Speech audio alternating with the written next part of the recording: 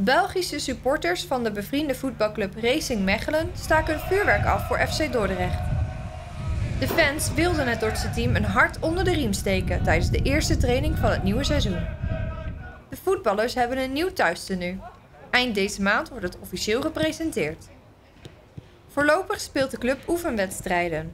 De competitie begint op 18 augustus. Dan speelt FC Dordrecht tegen Fortuna in Sittard.